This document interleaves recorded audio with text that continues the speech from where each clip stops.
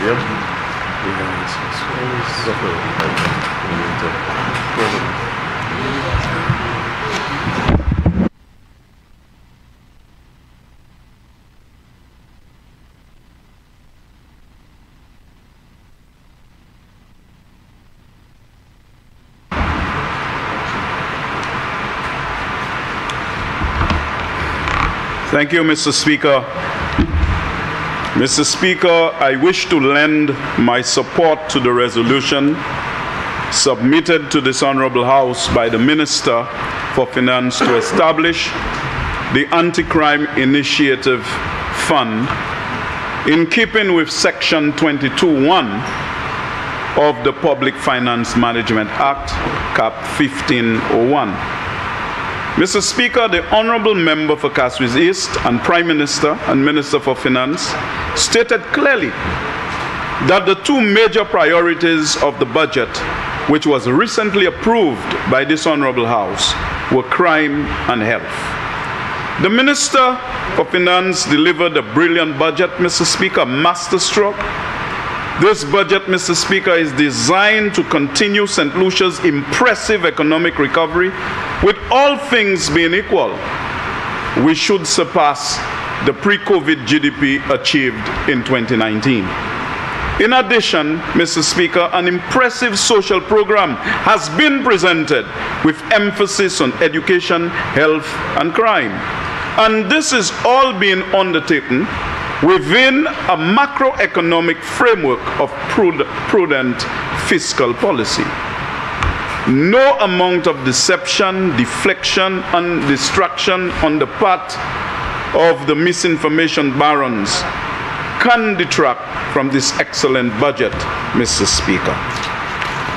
Mr. Speaker, the budget for fiscal year 2023-2024 provides for an increase in the operating budget for the police from an, an approved budget of 47.97 million in 2022-2023 to 49.84 million, Mr. Speaker.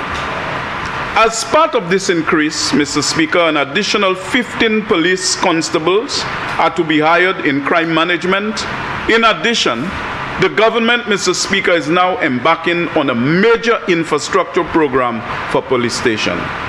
The Vieux police station is to be rehabilitated after being neglected over the last five years and a brand new Northern Divisional Headquarters is currently under construction in Gros Islet. This government, Mr. Speaker, is walking the talk and not merely uttering empty talk.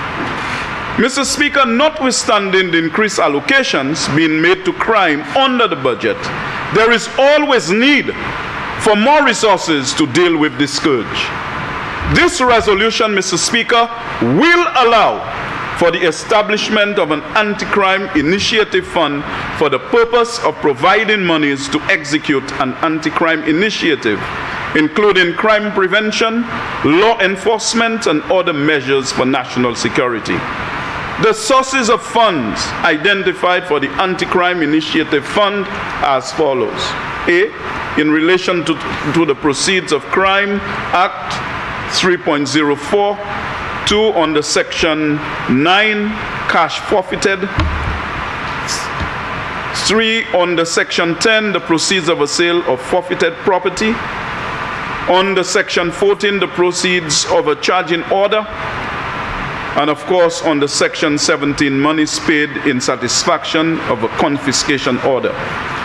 Additionally, in B, sums referred to in paragraph 8 that have been paid into a bank account approved by the Accountant General in the charge of the Attorney General. The funds cannot be predicted with any degree of certainty and are not included in the estimates of revenue and expenditure. The Public Finance Management Act does, however, provide a mechanism for the use of such funds through Section 22 of the aforementioned Act. It is to be noted, Mr. Speaker, that the source of these funds are all related to the successful prosecution of criminal activity and is therefore only fitting that such monies be used for anti-crime initiatives. The accountability framework for reporting the use of such funds are clearly detailed in Section 23 of the Public Finance Management Act. Therefore, Mr. Speaker, given those facts that not even the best political liar can refute, I therefore give my full support to the resolution.